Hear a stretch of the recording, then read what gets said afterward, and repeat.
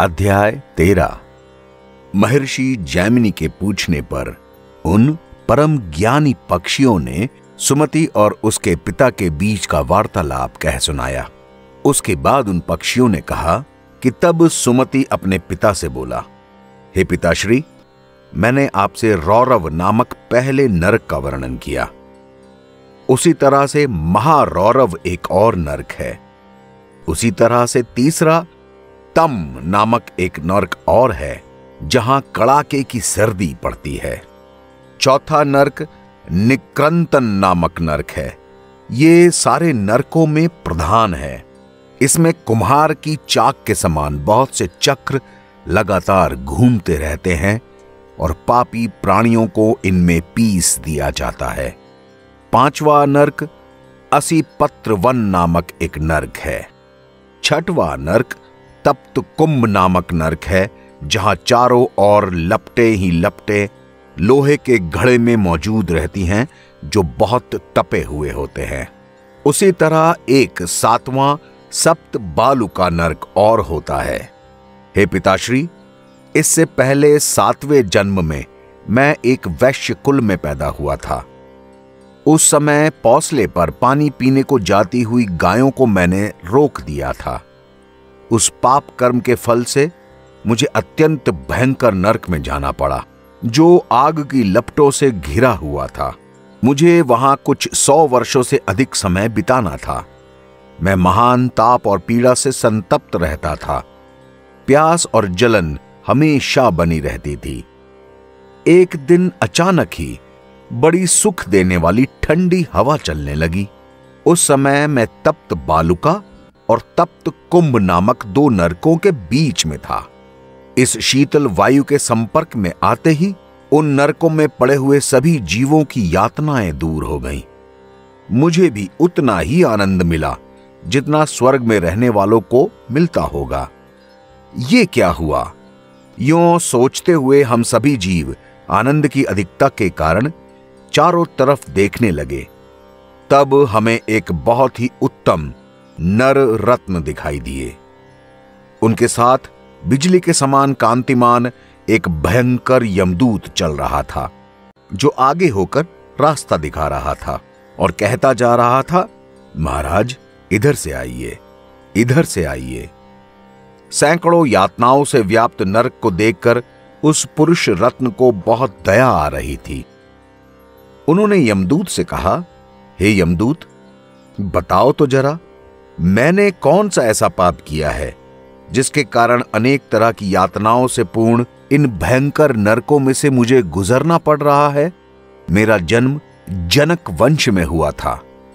मैं विदेह देश में विपिक्षित नाम से विख्यात राजा था और प्रजाजनों का भली भांति पालन कर रहा था। मैंने बहुत से यज्ञ भी किए, धर्म के अनुसार पृथ्वी का पालन किया। कभी युद्ध में पीठ नहीं दिखाई और अतिथियों को कभी निराश नहीं लौटाया। पितरों, देवताओं, ऋषियों और भृत्यों को उनका भाग दिया। बिना ऐसे किए कभी मैंने अन्न भी ग्रहण नहीं किया। जब गायें पानी पीने की इच्छा से स्वयं ही पौसले पर चली जाती हैं, उसी तरह पर्व के समय पितर और पुण्यतिथि आने पर देवता स्वयं ही अपना भाग लेने मनुष्य के पास आते हैं। जिस गृहस्थ के घर से वे लंबी सांस लेकर निराश लौट जाते हैं, उसके ईष्ट और पूर्त दोनों तरह के धर्म नष्ट हो जाते हैं। पितरों के दुख पूर्ण उच्छ्वास से सात जन्मों का पुण्य नष्ट हो जाता है और देवताओं का निश्वास तीनों जन्मों का पुण्य खत्म कर देता है। इसमें तनिक भी संदेह नहीं है। इसलिए मैं देवकर्म और पितृकर्म के लिए सदा ही सावधान रहा। ऐसी दशा में मुझे इस अत्यंत दारुण नरक में क्यों आना पड़ा? उन महात्मा राजा के ऐसा पूछने पर यमराज का दूत देखने में भयंकर होने पर भी हम लोगों के सुनते सुनते विनय युक्त हो गया और बोला, महाराज, आप जैसा कहते हैं वो ठीक है। उसमें तनिक भी संदेह नहीं, लेकिन आप द्वारा एक छोटा सा पाप हो गया। मैं उसे याद दिलाता हूँ।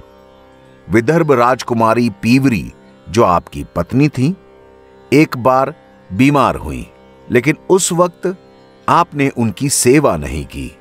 बस इसी कारण आपको इस भयंकर नरक तक आना पड़ा है, जो धर्मात्मा पुरुष अपनी पत्नी के स्वास्थ्य का ख्याल नहीं रखते। वह पितरों का ऋणी होने से पाप को पाते हैं और नरक में जाना पड़ता है। हे राजन, बस इतना ही आपका पाप है। इसके अलावा और कोई पाप नहीं है। इसलिए आइए, चलिए, अब पुण्य लोकों की तरफ़ चलते हैं। राजा ने कहा, देवदूत, तुम मुझे ले चलोगे, मैं वहाँ चला चलूँगा। लेकिन इस समय कुछ पूछ रहा हूँ। उसका तुम्हें ठीक ठीक उत्तर देना होगा। हे यमदूत, इस नरक में और पिछले नरक में भी चारों तरफ़ ये सारे मनुष्य बहुत यातनाएँ झेल रहे हैं। कहीं इनको गर्म कढ़ाई में उबाला जा रहा है, कहीं ये बड़े बड़े पक्षी इनको नोच कर खा रहे हैं। ये सभी मानव बहुत ही ज़्यादा दुख उठा रहे हैं। ऐसा इन्होंने क्या पाप किया, जिसकी वजह से इनको इस नरक में भुगतना पड़ रहा है?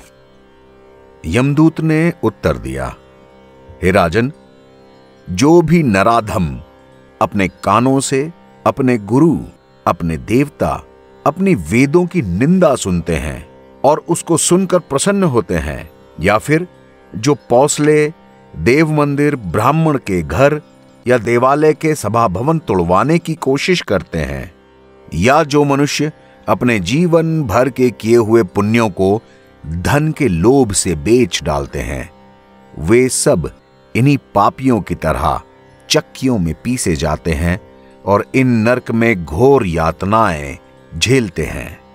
इन नीच मानवों ने उपकार करने वाले लोगों के साथ भी कृतज्ञता की है। इसलिए ये भूख से भी व्याकुल रहते हैं। इन खोटी बुद्धि वाले कृतज्ञ लोगों ने अपने मित्रों की बुराइयाँ भी की हैं। इसलिए यह तप्त कुंभ नरक में गिर जाते हैं। ऐसा कहकर यमदूत ने कहा, राजन अपने अपने कर्मों का फल भोगने वाले पुण्यात्मा और पापियों से संबंध रखने वाली ये सारी बातें नरक के संक्षेप में हैं।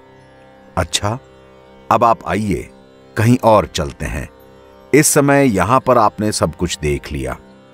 ये आपके पापों का फल है।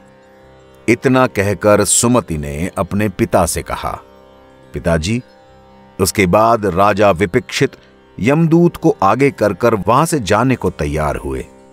यह देखकर यातना में पड़े हुए सभी मनुष्य चिल्लाने लगे और उनसे प्रार्थना करने लगे, हे महाराज, हम पर कृपा करें, दो घड़ी और ठहर जाएँ आपके शरीर को छूकर बहने वाली वायु हमारे चित्त को बहुत आनंद दे रही है और हमारी वेदनाएँ काफ़ी कम हो जा रही हैं अतः नरश्रेष्ठ, आप हम पर कृपा करें और थोड़ी देर और ठहर जाएँ। उनकी ये बात सुनकर राजा ने यमदूत से कहा, हे hey यमदूत, मेरे यहाँ रहने से इन्हें आनंद क्यों प्राप्त हो रहा है? मैंने मृत्युलोक में रहकर ऐसा कौन सा महान कार्य कर दिया, जिससे इन लोगों पर आनंददायिनी वायु चल रही है? ये बात भी तो बताओ। यमदूत ने कहा, हे राजन, आपका यह शरीर पितरों, देवताओं, अतिथियों और भ्रत जनों से बचे हुए अन्न के सेवन से पुष्ट हुआ है। और आपका मन भी इन्हीं की सेवा में संलग्न रहा है। इसलिए आपके शरीर को छूकर बहने वाली वायु बहुत आनंददायिनी है। और इसके लगने से इन पापियों को इनके पापों से मुक्ति मिल रही है। आपने अश्वमेध आदि यज्ञों का विधिपूर्वक अनुष्ठान किया। इसलिए आपके दर्शन से यमलोक के यंत्र, शस्त्र, अग्नि और ये सारे पक्षी जो पीड़न छेदन और जलन के लिए कारण हैं, कोमल हो गए हैं। आपके तेज से इनका क्रूर स्वभाव भी दब गया है। इस पर राजा बोले, भद्रमुख, मेरा तो ऐसा विचार है कि पीड़ित प्राणियों को दुख से मुक्त करके उन्हें शांति प्रदान करके जो सुख मिलता है, वो मनुष्य को स्वर्गलोक या ब्रह्मलोक में भी नहीं मिल पाएगा। यदि मेरे समीप रहने से इन दुखी जीवों को नरक जैसी यातनाओं से भी छुटकारा मिलता है तो मैं सूखे काठ की तरह यहीं अचल होकर रहना चाहूँगा। यमदूत ने कहा, राजन, आप चलिए यहाँ से। ये आपके रहने की जगह नहीं है। आप इन पापियों की यात्राओं को यहीं छोड़ दें और अपने पुण्य से प्राप्त हुए दिव्य भोगों का उपभोग करें। राजा ने कहा नहीं, यमदूत। जब तक ये लोग अत्यंत दुखी हैं, मैं यहाँ से नहीं जाऊँगा। अगर मेरे निकट रहने से इन नरकवासियों को सुख मिलता है तो मैं यहीं रहूँगा। जो शरण में आने की इच्छा रखने वाले आतुर और पीड़ित मनुष्यों पर, भले ही वह शत्रु पक्ष का ही क्यों ना हो, कृपा नहीं करता, उस पुरुष के जीवन को धिक्कार है। यदि मेरे अकेले के दुखी होने से, बहुत से आर्त मनुष्यों को सुख मिलता है तो मुझे कौन सा सुख नहीं मिला?